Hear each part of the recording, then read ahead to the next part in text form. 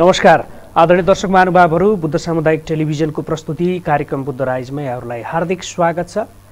हरेक दिन फरक फरक विषयवस्तु प्रसङ्ग केन्द्रित कुराकानी र छलफल गर्ने कार्यक्रमको यो श्रृङ्खलामा आज पनि हामी यस्तै चासो र सरोकारको विषय लिएर उपस्थित भइसकेका छौँ। नेपाली राजनीतिमा विभिन्न खालका घटनाक्रमहरू हुने गर्छन्। खास गरी सत्ता परिवर्तन र सत्तासँग जोडिएका घटनाक्रमहरूले पार्ने प्रभावका विषयमा केन्द्रित रहेर आज हामी कुराकानी गर्दैछौँ। यो विषयमा कुराकानी गर्नका लागि आज हामीसँग हुनुहुन्छ नेकपा एमालेका एकजना नेता जो रूपन्देही जिल्लाबाट दुई दुई पटक लुम्बिनी प्रदेश सदस्यमा प्रत्यक्ष निर्वाचन लडेर जितिसक्नु भएको छ र अहिले नेकपा एमाले लुम्बिनी प्रदेशको प्रमुख सचेतक रूपका रूपमा जिम्मेवारीमा समेत रहनुहुन्छ तुलसी चौधरी। सबैभन्दा पहिला आजका अतिथिज्यूलाई हार्दिक स्वागत छ। धन्यवाद। आराम हुनुहुन्छ? आरामै छु ठिक छ। अब नेपाली राजनीतिको यो सत्ता गठजोड फेरि एकपटक बिग्रियो। यसले केन्द्रमा मात्रै बिग्रिएको हो अथवा यसले तलैसम्म असर गर्छ? यो नेपाली जनताको निम्ति एउटा दुर्भाग्यको अवस्था आएको भन्ने हामीले महसुस गरेका छौँ। हामीले मङ्सिर चार गतेपछि राजनीतिमा जुन एक प्रकारको अस्थिरता उत्पन्न हुन्छ कि भन्ने जे हामीलाई आशंका लागेको थियो त्यो आशंकालाई हामीले चाहिँ मेटाउनका निम्ति हाम्रो पार्टी नेकपा एमाले घनीभूत मेहनत गरेर मुलुकलाई एउटा स्थिरता दिने गरी मुलुकभित्र रहेका सङ्घमा रहेका कतिपय पार्टीहरूलाई जोडेर एउटा स्थायी सरकार बनाउने खालको चाहिँ एउटा संरचना तयार गरेको थियो। र त्यो अनुसार चाहिँ गइ पनि राखेको थियो।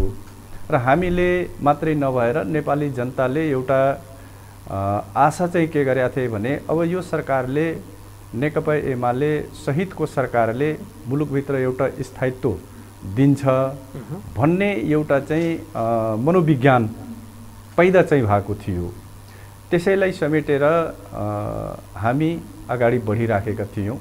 र जहाँसम्म तपाईँले भन्नुभएको कि अब केन्द्रमा जुन प्रकारको राजनीतिक घटना घटनाक्रम विकसित भयो त्यसको असर हाम्रो तल तल प्रदेशतिर पर्छ कि पर्दैन भन्ने जहाँसम्मको सवाल हो।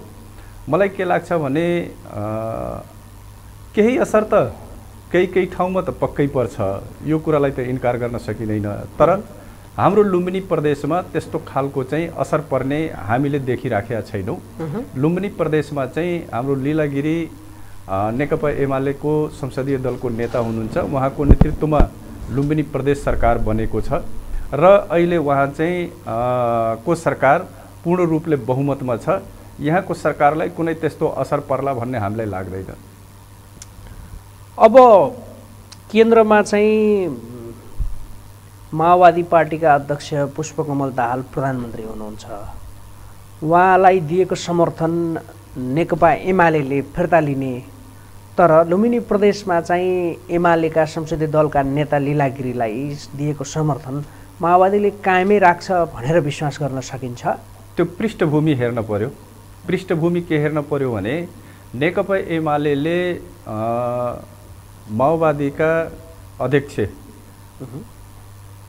उहाँ। चाहिँ प्रधानमन्त्री बन्नुभएको छ हाम्रै पार्टीले बनाएको हो विशेष गरेर। तर उहाँले नेकपा एमालेका मन्त्रीलाई तपाईँको चाहिँ अब एक प्रकारले भन्ने हो भने अपमान ढङ्गले विदेश अब एउटा प्रोग्राममा जान लागेको मन्त्रीलाई बिचबाटैबाट चाहिँ तपाईँ नजानुहोस् फर्किनुहोस् भनेर चाहिँ तपाईँको फर्काएपछि अब त्यो अपमान सहेर चाहिँ बस्ने अवस्था थिएन। भने दोस्रोतर्फ हाम्रो यो प्रदेशमा लिलागिरीको सरकारले यहाँ चाहिँ तपाईँको हामीले कुनै पनि मन्त्रीहरूलाई त्यस्तो खालको अपमान हुने गरी हामीले कुनै पनि कार्यहरू अहिलेसम्म गरेका छैनौँ र भविष्यमा आफूलाई अपमानित भएको भन्दै आफ्नो कार्यभारै सम्हाल्नु भएको छैन माओवादीको एकजना मन्त्री। त्यो उहाँको पार्टीको कुरा हो। क्याबिनेट बैठक बहिष्कार मन्त्रीले गर्नुभएको छ। हाम्रो कुरा चाहिँ होइन। यो लिलागिरीको मन्त्री परिषदको कुरा होइन। त्यो उहाँको दलको कुरा हो। उहाँको दलभित्र उहाँले एउटा चाहिँ अमुख कुनै मन्त्रालय उहाँले चाहिँ माग्नु भएको थियो। उहाँको दलले त्यो मन्त्रालय अहिले तपाईँका निम्ति होइन। यो मन्त्रालयमा फल्नु व्यक्ति हो। तपाईँ अहिले यो मन्त्रालय सम्हाल्नुहोस्। हामीसित उहाँहरूको चाहिँ कुराकानी के भएको थियो भन्दाखेरि आर्थिक मामिला मन्त्रालय। भौतिक पूर्वाधार विकास मन्त्रालय र आन्तरिक मामिला तथा कानुन मन्त्रालय तिनवटा मन्त्रालय चाहिँ नेकपा माओवादी केन्द्रले लिने भन्ने कुरो भइसकेपछि नेकपा एमाले अथवा मुख्यमन्त्री लीला गिरीले त्यसलाई ओके गरिसकेपछि त्यो तिनवटा मन्त्रालय माओवादीको जिम्मामा थियो त्यो तिनवटा मन्त्रालयमा माओवादी पार्टीले कस कसलाई पठाउने हो त्यो उहाँहरूको कुरा हो। त्यो हामीसितको सरोकार होइन। अब त्यो उहाँले किन आउनु भएन किन बहिष्कार गर्नुभयो त्यो उहाँको मन्त्रीजीको कुरा हो। यसले सरकारलाई असर गर्यो यसले सरकारलाई कुनै असर गर्दैन। एकतर्फ तर तर हेर्दाखेरि त क्याबिनेट बहिष्कार गरेका छ एउटा बाल एउटा मन्त्रीले आफ्नो कार्यभार सम्हालेका छैन। यसले त यसले कार्य सम्पादनमा त असर गर्ला नि त कार्य सम्पादनमा त बेसरी असर गर्छ। त्यो कुरालाई त मैले इन्कार गर्दिनँ। ओहो। तर सरकारसँग त्यसले त्यसको सरोकार चाहिँ रहँदैन। कार्य सम्पादनमा सरोकार रहन्छ। तर सरकार सञ्चालनमा त्यसको कुनै सरोकार रहँदैन। जस्तो मैले एउटा हिजैको एउटा चाहिँ नि अनलाइन मिडियाबाट हेरेँ। अनलाइन मिडियामा एउटा दिएको थियो प्रदेश एकमा नेकपा माओवादी केन्द्रका संसदीय दलका नेता। ले केन्द्रमा जेसुकै भए पनि हामी चाहिँ एक नम्बर प्रदेशमा नेकपा एमालेको सरकारलाई हाम्रो समर्थन रहन्छ हामी चाहिँ यहाँबाट ब्याक हुँदैनौँ। माथि केन्द्रमा जेसुकै होस् त्यो केन्द्रको कुरा भयो सङ्घको कुरा भयो तर यहाँ चाहिँ हाम्रो प्रदेशको कुरा हामी कसरी जाने के गर्ने यहाँको विकास निर्माण आदि इत्यादि सत्ता सञ्चालनको कुरा हाम्रो कुरा हो हामीले गर्नुपर्छ भनेर चाहिँ पाउनुपर्छ गर्नुपर्छ भनेर उहाँले चाहिँ त्यो हिजो एउटा आफ्नो वक्तव्य जारी गर्नुभएको एक नम्बरले भन्नुभयो तर। लुम्बिनीको जोगबहादुर मोहराको। यो कुरा आयो कि आएन तपाईँहरूसँग नम्- संवाद भयो होला एक? नम्बरले। त्यो कुरा गरेका छ अब मैले नामै नलिहालौँ होइन म हिजै साथीहरूसित बसेर कुरा गरेका छु। उहाँहरूको पनि इन्ट्रेस्ट के छ भन्दाखेरि अब यो नेकपा एमालेको सरकारलाई लुम्बिनी प्रदेशमा लिलागिरीको सरकारलाई उहाँहरू कुनै पनि मानेमा यसलाई कायम राख्ने तहमा उहाँहरू हुनुहुन्छ। उहाँहरूको मनोविज्ञान त्यस्तो छ। र उहाँहरूले सायद हिजो बेलुकादेखि लिएर अहिलेसम्म उहाँहरूले मा माथिल्लो नेतृत्वसँग कुरा गरिसक्नुभयो होला। होइन मैले उहाँ उहाँहरूसित कुरो गर्दाखेरि उहाँहरूले चाहिँ अब माथि यस्तो भयो भने के गर्ने भन्ने टाइपले चाहिँ छलफल पनि उहाँहरूको बिचमा भएको थियो र उहाँहरूले के भन्नुभएको थियो भन्दा हामी माथि कुरा गर्छौँ। तपाईँ माथि जेसुकै गर्नुहोस्। होइन माथि को कोलाई अब सरकारको पार्टनर बनाउने हो बनाउनुहोस्। तर प्रदेशलाई तपाईँहरूले चाहिँ स्वायत्त छोडिदिनुहोस्। प्रदेश स्वायत्त हो एउटा स्वायत्त संस्था हो। अरू पार्टीका नीति विधि निर्देशन आफ्नो ठाउँमा छ। पार्टीगत रूपमा त्यसलाई हामी लैजाउँला मानौँला। तर कमसेकम यहाँको सरकार सत्ता सञ्चालन गर्ने बेलामा सत्ता सञ्चालन गर्ने बेलामा सरकार बनाउने बेलामा अनि यहाँको विकास निर्माणको बेलामा यहाँको चाहिँ भौतिक पूर्वाधारहरूको विकास निर्माणको छनौट गर्ने बेलामा त हामीलाई स्वायत्त दिन स्वायत्तता दिन पर्यो नि। भन्ने खालको उहाँहरूले सायद आज कुरा गरिसक्नुभयो होला आज अहिलेसम्म। त्यसो भएको हुँदाखेरि यहाँ चाहिँ हाम्रो लुम्बिनी प्रदेशको सरकारलाई त्यस्तो अप्ठ्यारो पर्ला भन्ने मलाई लाग्दैन। एकदमै महत्त्वपूर्ण विषय यहाँले उठान गर्नुभयो। यहाँ यो सङ्घीय संरचना अन्तर्गत दुई दुई पटक प्रदेशको सांसद निर्वाचित सांसद हो। तर हेर्दाखेरि अहिले पनि हजुर। प्रदेश संरचना त्यति स्वायत्त हुन सकिरहेको छैन। निर्णय प्रक्रियाका कुराहरू हेर्ने हो भनेदेखि हरेक निर्णय महत्त्वपूर्ण निर्णय गर्दाखेरि केन्द्रको मुख ताक्ने परिपाटी छ। इभन यो हिजो पनि थियो र अहिले लिलागिरी मुख्यमन्त्री हुँदा पनि दुई दुई पटक काठमाडौँ गएर परामर्श गर्नु पर्यो छलफल गर्नु पर्यो माथिको निर्देशन कुर्नु पर्यो। भनेदेखि हामी प्रदेश हो यहाँले भने चाहिँ हामी स्वायत्त हो भने हामीले हाम्रो निर्णय गर्ने र त्यो जानकारी केन्द्रमा पठाउने परिस्थिति कहिले निर्माण होला? अब यसलाई हजुरले त्यसरी पनि नबुझौँ यो बुझाइ र चाहिँ तपाईँको भनाइमा थोरै कहीँ न कहीँ अलि कनेक्सन मिल्या छैन कि भन्ने लाग्छ मलाई। नेताहरू काठमाडौँ जाँदैमा एकदम निर्देशन लिनै गएको भन्ने अर्थ चाहिँ नलगाउँ। नै त्यो त त्यो त उहाँका एउटा पाटो। गतिविधिले देखिहालिन्छ। एउटा पाटो। अर्को पाटो एउटा के हो भने हजुरले भनेको अब यो दुई दुई पटक म सांसद प्रदेश सभाको सांसद भइसकेका हो। यहाँलाई राम्रो अनुभव अधिकारको क्षेत्रमा तपाईँले भनेको कुरालाई मैले इन्कार गर्दिनँ। जुन एक प्रकारले प्रदेश सरकार प्रदेश सभा प्रदेशका संरचनाहरू स्वायत्त हुन पर्नेमा त्यो स्वायत्त हुन सकिराखेका छैनन्। अथवा यसलाई अर्को भाषामा भन्ने हो भने सङ्घीय सरकारले यसलाई स्वायत्त स्वायत्त हुन दिया छैन भन्ने अर्थ पनि लाग्छ। मलाई सुरु सुरुमा चाहिँ के लागेको थियो भन्दाखेरि अब यो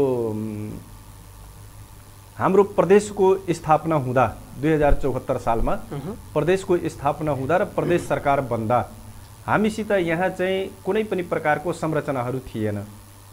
चाहे भौतिक संरचनाको कुरा गर्नुहोस् या चाहे प्रशासनिक संरचनाको कुरा गर्नुहोस् हामीसित कुनै संरचना थिएन। हामीसित हामीले सुरु गर्दाखेरि तिनजना सचिवबाट हामीले चाहिँ प्रदेश सरकार सुरु गरेका हौँ। त्यसलाई पछि गएर त्यसलाई चाहिँ पूर्णता दिने क्रममा पूर्णता भयो पछिल्लो उसमा। पहिला हामी बस्ने ठाउँ घरहरू थिएन। आफै खोज्दै घर चाहिँ खोज्दै बस्दै गरेका थियौँ। तर अहिले त्यति बेला चाहिँ त्यो पनि अहिले पनि स्थिति उस्तै छ। त्यो त छ। त्यसमा त मैले इन्कारै गर्दिनँ कि अब अलिकता विगतको सरकारले मुख्यमन्त्री कुलबहादुर केसीजी थोरै आत्तिनु भयो। त्यो नआत्तिएको भए हामीले अब यो एउटा प्रक्रिया पुरा गरेका थियौँ। होइन दाङको देउखुरीमा राजधानी बनाउने भन्ने कुरा हामीले पछिल्लो संसदले त्यसलाई पारित गरिसकेको थियो। त्यसलाई हामीले एउटा कानुन अङ्ग बनिसक्यो अङ्ग बनिसकेका थियो। त्यसलाई इन्कार गर्ने कुरो थिएन। तर त्यहाँ चाहिँ तपाईँको सबै संरचना तयार गरेर गएको भए समस्या थिएन। तर त्यो संरचनै तयार नगरिकन हतार हतारमा जसरी चाहिँ राजधानीका सबै चाहिँ प्रशासनिक इकाइहरू सार्ने काम भयो। त्यसले चाहिँ हामी कहिलेकाहीँ चाहिँ फेरि पुनः हामी चाहिँ उही चौहत्तर सालमा फर्क्यौँ कि? संरचनाको हिसाबले। हो। होइन भौतिक संरचनाको हिसाबले हामी उही चौहत्तर सालमा फर्क्यौँ कि भन्ने जस्तो चाहिँ लाग्छ। तर यसलाई हामीले चाहिँ यो पाँच वर्ष टाइम लिएर चाहिँ त्यहाँ संरचना तयार गर्दै गर्ने। र यहाँ बसेर चाहिँ नि तपाईँको सबै प्रशासनिक इकाइहरू सञ्चालन गरिराखेको भए यो लुम्बिनी प्रदेशले त्यो दुःख चाहिँ पाउँदैन थियो। त्यो छिटो पनि हुन्थ्यो। छिटो पनि हुन्थ्यो। तर अहिले अलिकता दुःख चाहिँ भएको छ। त्यो त्यसलाई चाहिँ अन्यथा लि लिने कुरो भएन। र मैले यही कुरो तपाईँले चाहिँ भनिराखेको थिएँ कि सुरु सुरुमा जब चौहत्तर सालमा प्रदेश सरकारहरूको स्थापना भयो हाम्रो मात्रै होइन। सबै प्रदेशहरूको स्थिति यही थियो। र त्यो त्यति बेला चाहिँ सङ्घीय सरकारले चाहिँ के सोच बनाएको थियो होला भन्दा अहिले प्रदेशमा सबै संरचना तयार छैन सबै इकाइहरू पनि बनिसकेका छैनन् र यदि अधिकार दिने हो भने सायद त्यो सम्हाल्न थाम्न पनि गाह्रो होला भन्ने चाहिँ लागेको हुनसक्छ भन्ने म आफूले आफ- म आफूलाई त्यस्तो लाग्छ होइन? त्यसो भएको हुँदाखेरि यो पाँच वर्षभित्र प्रशासनिक इकाइहरू यहाँका संरचनाहरू सबै तयार छन्। हामीसित अहिले मन्त्रालय छ महाशाखा छ निर्देशनालय छ डिभिजन कार्यालयहरू छन् सबै संरचनाहरू तयार छन्। अब चाहिँ सङ्घले केन्द्रले अब प्रदेशको अधिकारहरू चाहिँ तपाईँको हस्तान्तरण गर्न वा दिन हिचकिचाउनु हुँदैन। अब सबै प्रदेशहरू त्यो तहमा आफूलाई स्थापित गरिसकेका छन् कि अब आएको कुनै पनि चाहिँ तपाईँको त्यो जिम्मेवारीहरूबाट प्रदेश चाहिँ तपाईँको पछि त्यसलाई सम्हाल्नबाट पछि पर्दैन। अधिकार त कहिले देला र अनि प्रयोग गरौँला भन्ने हो कि? त्यसका लागि क्लेम दाबी पनि त गर्ने होला नि। दाबी त हामी सबै प्रदेशहरूले विगतदेखि नै दाबी गर्दै आएका छौँ। अलिकता थोरै हाम्रो सङ्घीय कानुनले थोरै चाहिँ के गरिदिएको छ भन्दाखेरि त्यो संविधानले पनि अब त्यो संविधान अलिकता एक दुई ठाउँमा संशोधन नगरिकन त्यो हुनेवाला चाहिँ हामीले देखेका छैनौँ। साझा साझा सूचीका अधिकारका विषयमा? त्यो त्योभन्दा पनि तपाईँको चाहिँ के छ भन्दा हामीले ऐन बनाउँदा सङ्घीय कानुनसँग बाजिएको खण्डमा स्वतः खारेज हुनेछ भन्ने छ त्यो। त्यस्ता कतिपय खारेज पनि भयो तपाईँहरूले? खारेज भयो। अघिल्लो। खारेज भयो। होइन? ती यी यस्ता खालका कानुनहरू संशोधन नगरिकन अब हाम्रो चाहिँ प्रदेशहरू तपाईँको चाहिँ अगाडि जुन स्पिडमा हिँड्न खोज्या छ जान खोज्या छ त्यो स्पिडमा जान सक्दैन। किन त हामीले देखेका छौँ नि त अब त्यो सङ्घका चाहिँ तपाईँका मान्छेहरूले अब यहाँ अलिकता अधिकार दिने मामलामा त थोरै कन्जुसियाइ गरेकै देखिया छ त। होइन? त्यसो भएर अब अलिकता तपाईँले भने जस्तै अब क्लेम गर्ने कुरा माग्ने कुरा दाबी गर्ने कुरा लिने कुरा त छँदैछ। अब चाहिँ त्यो गर्छौँ हामी। तर तर कमजोरी कहाँनिर देखियो भने देखेको कुरा हजुर। फेरि कुनै एउटा मात्रै पार्टीको कुरा होइन यो।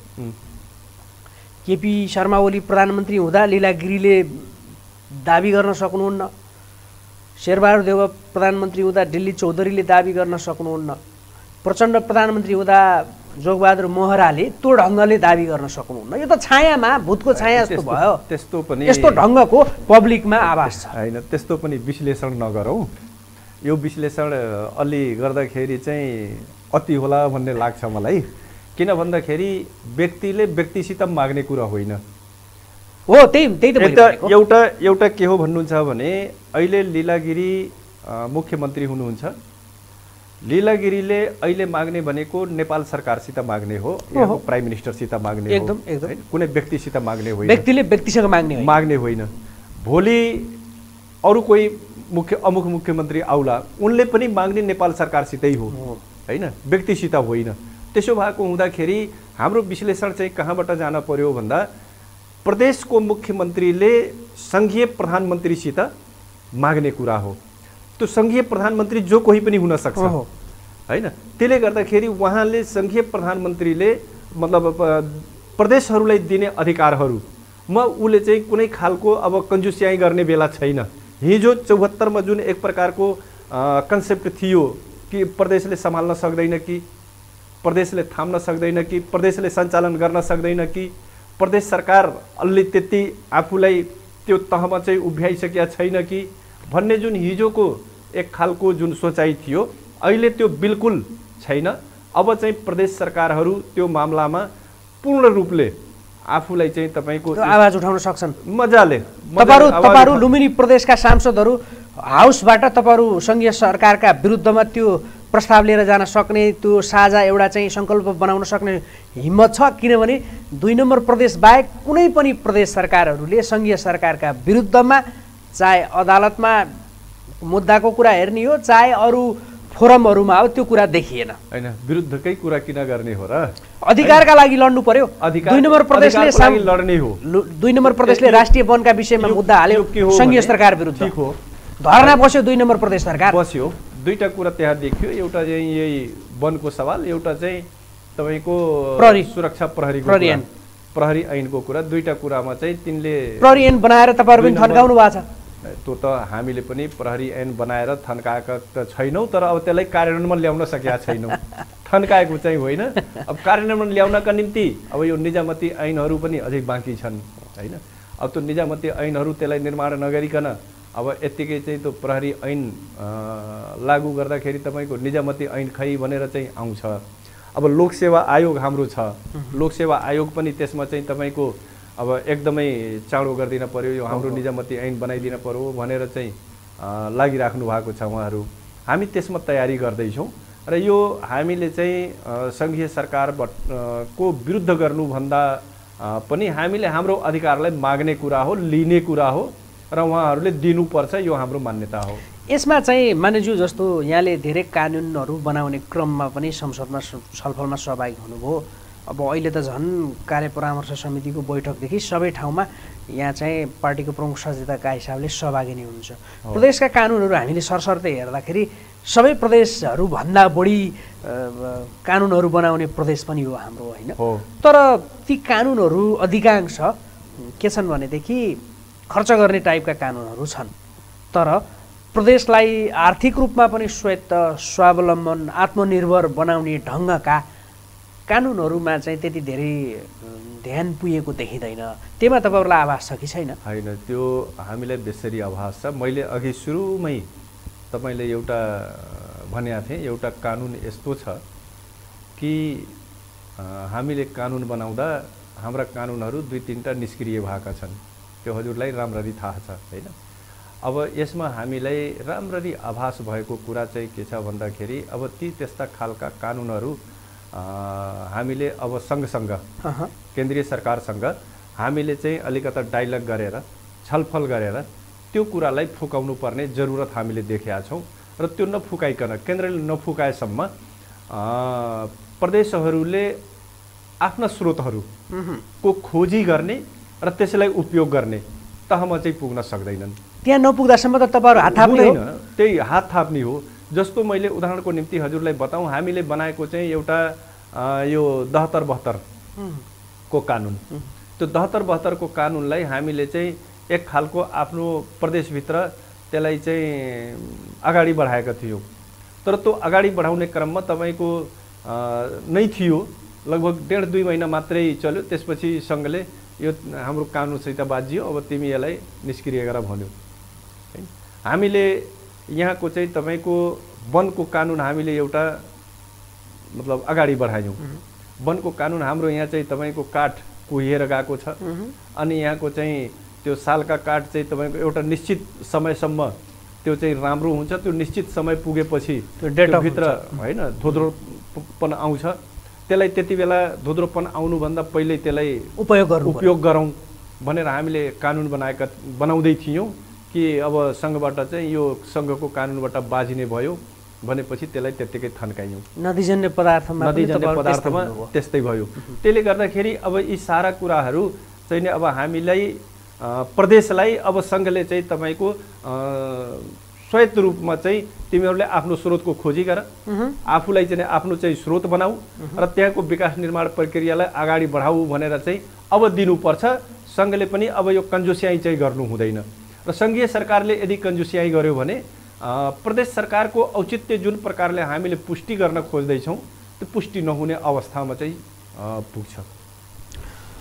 अब आशा गरौँ छिटै प्रदेश सरकारहरू आफ्नो खुट्टामा आफै उभिने आफै निर्णय गर्ने र आफै कार्यान्वयन गर्ने ढङ्गको हात थाप्न नपर्ने परिस्थिति स्वायत्त हौँ हामी भन्ने तर सबै कुराको परनिर्भर हुने परिस्थितिको अन्त होस् हामी कामना गर्छौँ। त्यसका लागि त त्यसको भूमिका तपाईँहरूले नै निभाउनु अब त्यसमा त अब यो हामीले हाम्रो प्रदेशमा यस्ता खालका स्रोतहरूका खोजीहरू पनि गर्दैछौँ। नगर्ने कुरो होइन। त्यो ऐन त्यसका निम्ति ऐनहरू पनि हामीले निर्माण गर्दैछौँ। तर यसमा के छ भन्दाखेरि केही अझै पनि सङ्घीय सरकार र प्रदेश सरकारका बिचमा बसेर छलफल गर्नुपर्ने। र त्यसका चाहिँ धेरै कुराहरू टुङ्गो लगाउनु पर्ने अझै बाँकी छन्। अब एउटा समस्या चाहिँ मैले के देख्ने गर्छु भने हामी नेपालीहरू धेरै मुलुकहरू घुमेका छौँ पहिलो कुरा। दोस्रो कुरा के छ भने हाम्रो छिमेकमा दुईवटा ठुल्ठुला मुलुकहरू छन् र उनीहरू तीव्र गतिमा विकास गरेको पनि हामीले देखेका छौँ। करिब करिब मोडल चाहिँ यही हो। र सङ्घीय मोडल। सङ्घीय मोडल। र उनीहरूको सङ्घीयताको मोडल पनि हामीले देखेका छौँ। र उनीहरूको सङ्घीयताको मोडेल हेर्दा र हाम्रो मोडेल करिब करिब त्यो एउटै एउटै देखिन्छ। तर प्र्याक्टिस इन्डियाको झन्डै सत्तर पचहत्तर सालको उनीहरूको प्र्याक्टिस हो। है। चाइनाको पनि तपाईँको झन्डै झन्डै पचास साठी वर्षको प्र्याक्टिस हो। हाम्रो प्र्याक्टिस भनेको बल्ल पाँच वर्षको हो। हामी पाँच वर्षको प्र्याक्टिसलाई त्यो पचहत्तर वर्षसितको कम्पिटिसनमा हामीले त्यसको तुलना गर्छौँ। इन्डियामा यस्तो छ यहाँ किन त्यो त? नगरौँ। होइन? तर एउटा सिँढी त उक्लिनु पर्यो। यस्तो छ। र अर्कोतिर चाइनाको हामीले हेर्छौँ। चाइनामा यसरी गयो। यहाँको यो सङ्घीयता किन यसरी गएन? भनेर त्यो तुलना हामीले के गर्ने गरेका छौँ भन्दा हामी नेपाली जनताले इन्डियाको सङ्घीयता चाइनाको सङ्घीयतासितको त्यो तुलना गर्दाखेरि हाम्रो हामीलाई चाहिँ तपाईँको यो कामै छैन भन्ने खालको चाहिँ निष्कर्ष एउटा सतही निष्कर्ष चाहिँ निकाल्ने पनि हामीले देखेका सङ्घीय। प्रणालीका विषयमा छलफल गर्ने यसको विषयमा बहस गर्ने बेला भएको छैन। अहिले भएको छैन। अहिले भएको छैन। तर आवाज उठ्दैछ। हजुरले आवाज त उठ्छ त्यो आवाजलाई त हामीले इग्नोर गर्ने कुरा पनि आउँदैन। तर हजुरले चाहिँ हेर्नुभयो भने इन्डियाको सङ्घीयता आउँदा त्यहाँको चाहिँ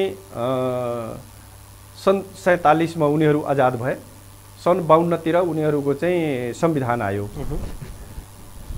सैँतालिस र चाहिँ नि तपाईँको बाहन्न भनेको चाहिँ आठ वर्ष। आठ वर्ष उनीहरूको त संविधान बनाउनेमा उनीहरूको खर्च भयो। त्यसपछि उनीहरूको सङ्घीयताको मोडेल आयो।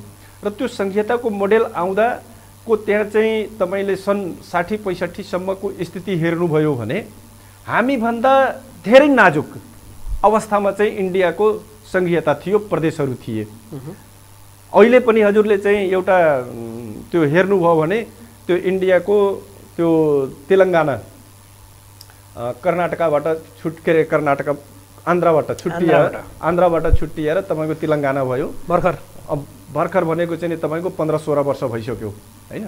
पन्ध्र सोह्र वर्ष भइसक्यो त्यसको प्रशासनिक इकाइहरू अझै पनि तपाईँको हैदराबादमा छन्। उनीहरू त्यो तेलङ्गानाको सारा चाहिँ प्रशासनिक कार्यहरू तपाईँको चाहिँ हैदराबादबाट चाहिँ सञ्चालन हुने गर्छ। थोरै मात्र इकाइहरू अहिले त तेलङ्गानातिर चाहिँ सारिएको छ। त उनीहरूको पनि मोडेल र हाम्रो मोडेलको तुलना गर्दाखेरि हामी उनीहरूको भन्दा फास्ट छौँ। तर नेपाली जनताले जुन उनीहरूको पचहत्तर वर्षको जुन प्र्याक्टिस र हाम्रो पाँच वर्षको प्र्याक्टिसलाई जसरी तपाईँको चाहिँ तुलना गरेर यिनीहरूकै हाराहारीमा जानुपर्छ यिनीहरूकै बराबरमा जानुपर्छ भन्ने जुन चिन्तन हो। त्यो चिन्तनमा हामी चाहिँ अहिले पुग्न सकिराखेका छैनौँ। त्यति बेलासम्म त हामी पनि तिनीहरूको कम्पिटिसनमा पुग्छौँ भन्ने हामीलाई लाग्छ। अब प्रदेश सरकारकै कुरा गरौँ होइन। सरकार। गठन भएको साढे दुई महिना करिब हुन थाल्यो होइन। हजुर। प्रदेश सभाले बिजनेस नपाएर बिजनेस विहीन छ प्रदेश सभाभित्रका महत्त्वपूर्ण समितिहरूको सभापति पदाधिकारी विहीन छन् यो खालको अन्यलता अझै कति समय जाला? अझ सङ्घीय यो राजनीतिक घटनाक्रमहरू त हामीले चर्चा गरिहाल्यौँ। भनेदेखि अझै यो खालको अस्थिरताले हामी कति समय अझै पर्खिनुपर्छ? अब यो हजुरले भनेको यो हाम्रो सरकारसित बिजनेसै नभएको चाहिँ होइन। हामीसित बिजनेस छ। हामीले यो सरकार गठन भइसकेपछि यो परामर्श समितिमा हामीले कुरा गऱ्यौँ कि अब हामीले यो विषयगत समितिहरू निर्माण गर्नुपर्छ भनेर। हामी त्यति बेला चाहिँ के भन्यौँ भन्दा यो माघको छब्बिस गते माघको पच्चिस गते निर्वाचन थियो। हामीले त्योभन्दा पहिले तेइस गते नै विषयगत समितिका सदस्यहरूको नाम दिउँ। सभामुखलाई त्यो नाम दिइसकेपछि उहाँले चाहिँ सदनमा त्यसलाई अनुमोदन गराउनुपर्छ सदनले अनुमोदन गरिसकेपछि बल्ल त्यो विषयगत समितिहरू निर्माण हुन्छन् भनेर हामीले त्यहाँ कुरा राख्यौँ। तर नेपाली काङ्ग्रेसका साथीले उहाँ मान्यज्यूले के भन्नुभयो भन्दाखेरि पच्चिस गते राष्ट्रिय सभाको निर्वाचन छ। अहिले सबै उतातिर लाग्नु भएको छ। अहिले हामी चाहिँ त्यसो नगरिकन छब्बिस गते नै छब्बिस गतेलाई सारौँ छब्बिस गते सबैले नाम दिउँ र सत्ताइस गते एउटा चाहिँ सदनको बैठक डाकौँ त्यसमा चाहिँ अनुमोदन गरौँ भनेर चाहिँ भन्नुभयो। र त्यो चाहिँ हामीले हुन्छ भनेर अब त्यो किन भन्दाखेरि कार्य परामर्श समिति अल्मत बहुमतको हुँदैन। त्यहाँ लगभग लगभग सर्वसम्मत हुन्छ। त्यो तपाईँहरूलाई सबैलाई जानकारी नै छ। र त्यो अनुसार हामी अगाडि बढिराखेका थियौँ तर उहाँहरूले त्यो छब्बिस गते नाम दिन इन्कार गर्नुभयो। र मैले नेपाली काङ्ग्रेसका दलका नेतासित अनुरोध पनि गरेँ। अनि उहाँले मसित चाहिँ के भन्नुभयो भन्दा मैले त संसदीय दलको बैठक नबसालिकन यो नाम दिन सक्दिनँ। म अहिले नाम दिन्न सर सत्ता तपाईँहरूले सरकार बनाउनु भएको छ। त्यो सरकार चलाउनुहोस् किन यो समितिको चक्करमा तपाईँहरू फस्नुहुन्छ भनेर भन्नुभयो। एक प्रकारले भन्नुहुन्छ भने समितिको इन्ट्रेस्ट सत्ताभन्दा प्रतिपक्षलाई हुनुपर्ने हो। किन भन्दा हामीले विधेयकहरू तपाईँको चाहिँ समितिमा पठाइसकेका छ तर त्यो समिति नभएको हुनाले र त्यो चाहिँ तपाईँको त्यो विधेयक अहिले त्यत्तिकै सचिवालयमा थन्किराखेको छ। प्रक्रियामा छिर्नै पाएन। प्रक्रियामा छिर्नै पाएन। त्यसले गर्दाखेरि अब यो समिति बनाउनमा हाम्रो कारणले होइन। हाम्रो कारणले रुकेको छैन। तर जिम्मेवारी त सत्ता। पक्षले लिनु नै पर्यो यस्तो छ। प्रतिपक्षलाई आरोप लगाएर उसको कमजोरी आरोपै होइन। सत्ता पक्ष यो आरोपै होइन। यो मेरो कुरा हो उहाँहरूसित अनुरोध हो कि उहाँहरूले यो चाँडै गरिदिए पार। हामीले समिति चाँडै बनाउँथ्यौँ भन्ने कुरा हो। तर उहाँहरूको त खेल अब फेरि सत्तामा आउने देखियो उहाँहरूको खेल सत्तामा आउने भयो त्यो उहाँहरूको खेल मात्रै हो भन्ने मलाई लाग्छ। होइन सत्तामा सङ्घीय सरकारका सत्तारूढ दलका नेताहरू। त्यस त्यससँग सम्बन्धित प्रदेशका नेताहरूको बैठक सुरु भइसक्यो हिजैबाट।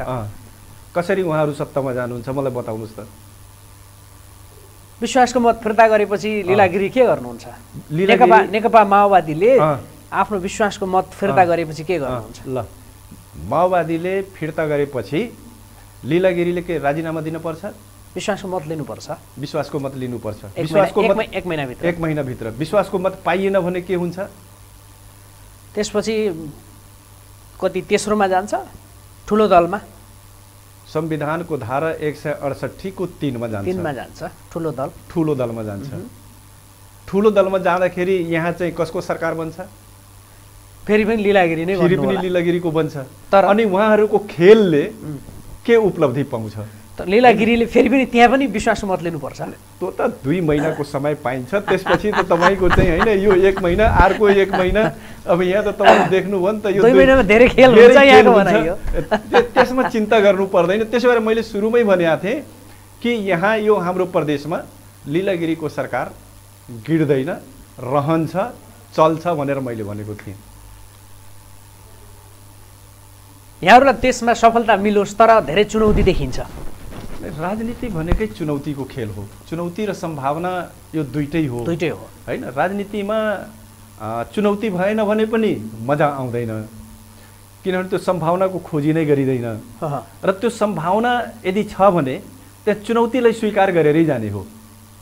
त्यो चुनौतीलाई स्वीकार गरेर तपाईँको अगाडि बढियो भने मात्रै त्यो सम्भावनाहरू पहिल्याउन सकिन्छ र त्यसलाई चाहिँ तपाईँको ठिक ठाउँमा ल्याएर अगाडि बढ्न सकिन्छ। अब तपाईँहरू दलहरूलाई त यो एक खालको लुकामारी जस्तो ठिकै होला होइन? तर जनतालाई त त्यो कुरा ठिक छैन। जनताको तपाईँहरू स- हेर्नुभएको छ टिका टिप्पणी? राजनीतिक दलप्रति जनताको आक्रोशको लेभल हेर्नुभएको छ। मलाई लाग्छ यो आक्रोशको लेभल नेकपा एमाले प्रति होइन भन्ने लाग्छ मलाई। एमाले पनि एउटा खेलाडी हो। नै त्यो त खेलमा मैदानमा उत्रिसकेपछि त खेल त खेल्नै पर्यो। तर हामीले खेल्ने खेल भनेको कस्तो खेल हो भन्दा हामी नियमअनुसारको खेल जुन खेलको नियम हुन्छ त्यो नियमलाई हामी उल्लङ्घन गर्दैनौँ। जस्तो मैले हजुरलाई भनौँ कि सङ्घमा केन्द्रमा जब माओवादीका नेता पुष्पकमल दाहाल प्रचण्डजीलाई नेपाली काङ्ग्रेसले प्रधानमन्त्री स्वीकार गरेन उहाँ चाहिँ नेकपा एमालेका अध्यक्ष केपी ओली कहाँ पुग्नुभयो। र एउटा सहमति गर्नुभयो। त्यो सहमतिमा नेकपा एमाले अहिले पनि अडिग छ। एक हदसम्म है अहिले पनि अडिग छ र उहाँलाई प्रधानमन्त्री बनायो। प्रधानमन्त्री बनाइसकेपछि सरकार अगाडि बढ्यो।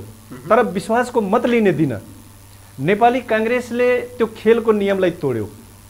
नेपाली काङ्ग्रेसले जब ऊ प्रतिपक्षमा गइसक्यो प्रचण्डलाई छोडिसकेपछि ऊ प्रतिपक्षमा गइसक्यो सामान्यतया के हुन्छ भन्नुहुन्छ भने सत्ता पक्षका प्रधानमन्त्रीले तपाईँको चाहिँ विश्वासको मत मागिसकेपछि प्रमुख प्रतिपक्षी दलले विपक्षमा मत हाल्ने हो। विश्वास गर्यो। सामान्यतया। उसले पनि विश्वास गर्यो। समान होइन विश्वास गर्नै थियो भने त त्यो दुई दिन अगाडि विश्वास गरे त भइहालेको थियो नि। किन चाहिँ त्यो दस गते पुसको दस गते त विश्वासको मत दिए भइहाल्यो एउटा अर्को खेलको नियम। तपाईँहरू सत्ताइस सिट भएको दललाई प्रधानमन्त्री दिने। तर सबभन्दा ठुलो संसदको सबभन्दा ठुलो दल जसको उनानब्बे सिट छ त्यसलाई राष्ट्रपति दिन चाहिँ के नियम नमिल्ने हो त्यहाँ? हामीले त्यस्तो भनेका छौँ र? हाम्रो पार्टीले त्यस्तो भनेको छ र? प्रचण्डको प्रस्ताव एमालेलाई त्यही थियो नि। अनि प्रचण्डजीसित नेकपा एमालेको पौष दस गतेको सहमति के थियो? त्यो पनि भनिदिनुहोस् न। त्यो त लिखित आएन बाहिर। लिखित त अहिले पनि छैन। लिखित त्यति बेला पनि थिएन लिखित अहिले पनि छैन। यस्तो कुरामा लिखित हुँदैन। यो चाहिँ तपाईँको एउटा मान्छेको माथि विश्वास गर्ने कुरा हो। विश्वासमा चल्ने राजनीतिक कुरा हुन्। र राजनीतिमा तपाईँले एकचोटि विश्वास गुमाउनु भयो भने धेरै त्यो विश्वासलाई आर्जन गर्नका निम्ति प्राप्त गर्नका निम्ति धेरै समय लाग्छ। प्रचण्डलाई जब एमाले गर्दाखेरि त्यस कारणले गर्दाखेरि पुस दस गते जुन एउटा सहमति भएको थियो प्रचण्डजी प्रधानमन्त्री बन्ने त्यो पनि अढाई वर्षका निम्ति सभामुख नेकपा एमालेको बन्ने त्यो पनि अढाई वर्षका निम्ति र राष्ट्रपति नेकपा एमालेको बन्ने र उपराष्ट्रपति माओवादीको बन्ने भन्ने सहमति हो दस गतेको। अहिलेको सहमति त्यो लिखित आएन भन्नुभयो ठिक हो। तर सबै अनलाइन मिडियाहरूले तपाईँहरूलाई सबैलाई त्यो अन्तरआत्मैदेखि कुरो यही हो भन्ने छ होइन? एउटा प्रमाणको रूपमा खै देखा त भन्ने कुरो हामीसित छैन यथार्थ यथार्थ यही हो। तर आज पनि आज पनि हजुरहरूले चाहिँ रामचन्द्र पौडेललाई नेपाली काङ्ग्रेसका नेता रामचन्द्र पौडेलजी हुनुहुन्छ। उहाँलाई प्रधानमन्त्री के अरे राष्ट्रपति बनाउने कुरामा अहिले पनि त त्यो सात आठ दलको त लिखित छैन नि। त्यो पनि यो एउटा विश्वास भद्र- टाइपको सहमति। भद्र टाइपको सहमतिमै त्यो कुरो भएको छ। तर रात गए अग्रात पलाउँछ यहाँले अघि भनिहाल्नुभयो त्यो राष्ट्रपति निर्वाचनको मतदानको दिनसम्म त फेरि के हुने हो त्यो पनि थाहा छैन। थाहा छैन। त्यसो भएको हुँदाखेरि हामीलाई अझै पनि हो यो ढङ्गको अन्यलतालाई जनताले राम्रोसँग लिएका छैनन्। तिमीहरू विकास गर काम गर जनताको पक्षमा काम गर आज नागरिकहरूका धेरै दुःख कष्ट छन् भन्ने ढङ्गको आभास जनताको त्यो लेभलमा छ। यो यतातर्फ तपाईँहरूको छलफल केन्द्रित चाहिँ कहिले हुन्छ भन्ने आम प्रश्न हो। यो कुरा जहाँसम्म मलाई के लाग्छ भन्नुहुन्छ भने हजुरले भनेको कुरा पच्चिस गतेसम्म के हुन्छ भन्ने कुरामा हामी छैनौँ। हामी के कुरामा ढुक्क छौँ भने पुस दस गते भएको सहमति जे हो नेकपा एमाले समर्थन फिर्ता लिए तापनि माओवादी केन्द्रका नेता र पार्टी त्यो पुस दस गतेको सहमतिमा कायम रहन्छ भन्ने कुरामा अझै पनि एउटा आश चाहिँ हामीलाई छ। ए आफूले समर्थन फिर्ता लिने आश चाहिँ गरिराख्ने यो मिल्छ? त्यो त पाइयो नि त। त्यो त पाइँदैन र। आफूले सहयोग नगर्ने अर्काको सहयोग चाहिँ चाहने। हामीले उहाँलाई सहयोग गरे होइन र। विश्वास मत फिर्ता लिनुभयो। होइन विश्वासको मत त एउटा कालखण्डमा एउटा त्यो परिस्थिति सिर्जना भयो। त्यो परिस्थिति सिर्जना हुँदाखेरि विश्वासको मत फिर्ता लिन यो पर्यो फिर्ता लिँदा दरार भयो कि भन्ने मेरो त्यो अनि त्यसपछि चाहिँ नि तपाईँको यो परिस्थिति सिर्जना गराइदिने नेकपा एमाले होइन। यो परिस्थिति सिर्जना गरिदिने जसले हो यसको जिम्मेवारी त्यसले लिनुपर्छ। दोस्रो कुरा यो दलमाथि सरकारमाथि जुन प्रकारको अहिले प्रश्न उठेको छ भन्नुहुन्छ हामी यसबाट अनभिज्ञ छैनौँ। हामी जानकार नै छौँ। तर यसको चाहिँ तपाईँको अपजस कसको भागमा कति पर्छ? त्यस त्यसले लिने हो। हाम्रो भागमा कति पर्छ? हामीले पनि त्यसलाई लिन्छौँ इन्कार गर्दैनौँ। तर यसको ठुलो भाग को कोलाई हो? त्यो- त्यसले लिनु पर्यो। त्यसले लिनु पर्यो? एकदमै। कि- जो जति दोषी हो त्यति सजाय उसले पाउनु पर्यो। लिनु पर्यो. कि अहिलेको यो सरकार भत्ताभुङ्ग गर्ने मामलामा दोषी को हो? अहिलेको यो एक प्रकारले तपाईँले देख्नुभयो नि त सुरुमै प्रचण्डजीको प्रधानमन्त्री शपथ ग्रहणपछि विष्णु पौडेलले पनि शपथ ग्रहण गर्नुभयो विष्णु पौडेल अर्थमन्त्री हुने बित्तिकै तपाईँको चाहिँ यहाँको सेयर बजार एक प्रकारले चाहिँ आफ्नो वेमा गइसकेका थियो। एक दुई दिन। दुई दिन त्यसपछि चाहिँ फेरि जब त्यो अलिकता चाहिँ तपाईँको यो खिचलो रवि लामी छानेजीको सुरु भयो। त्यसपछि त्यो सेयर बजार फेरि ओह्रालो लाग्यो होइन? यसको दोष कसले लिने हो त? यसको सबै अपजस जति एमाले जस जति अरूले पाउने कुरा हो र होइन नि जो जति दोषी हो त्यसको अपजस पनि उसलाई उति नै दिनुपर्छ। र मैले अघि त तपाईँले भने कि हामी राजनीतिको यो खेलमा हामी जो नियम हो राजनीतिक खेलको नियम हो हामी त्यो नियम अनुसार चाहिँ अगाडि बढ्न चाहन्छौँ। हामी प्रतिपक्षमा भयौँ भने हामी प्रधानमन्त्रीलाई विश्वासको मत दिन जाँदैनौँ। हामी जनताका कुरा लिएर जनताका चाहिँ पक्षमा रोस्टम रोस्टम घेराउमा लाग्नुहुन्छ। अब त्यो परिस्थितिले सिर्जना गर्ने कुरा हो। परिस्थितिले भोलि चाहिँ तपाईँको कार्यव्यवस्था समितिमा यदि हाम्रो कुराहरू सुनवाई भएन सरकारले हाम्रो कुरा सुनेन भने त्यो परिस्थिति सिर्जना भयो भने रोस्टम घेराउ पनि हुनसक्छ अथवा हामी चाहिँ त्यहाँ परिस्थिति त्यो सिर्जना भएन भने हामी आफ्नै ठाउँमा रहेर जनताका आवाजलाई प्रतिपक्षमा बसेर जनताको आवाजलाई हामी बुलन्द गर्ने कुरा हो।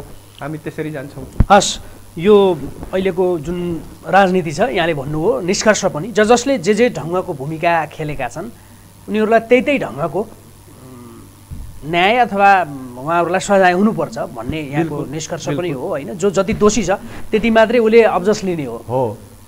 यो कुरामा ठिक छ। एकाएक यो विपक्षको सडकको किनारमा पुगेको नेकपा एमाले एकाएक सबै ठाउँ सत्तामा आएको थियो।